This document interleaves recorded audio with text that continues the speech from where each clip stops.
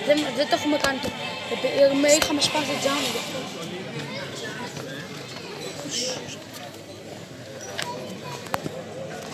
zijn er klaar voor een wedstrijd, een affiche die voor jullie zeker in de Europa League, misschien wel Champions League waard is. Dat zou zeker hebben gekund, maar het is de tweede keer.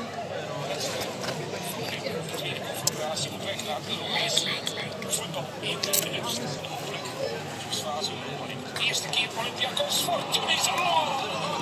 22 seconden ver. En de wedstrijd bij Genk wordt afgestraft voor Tunis. Maar het in zijn.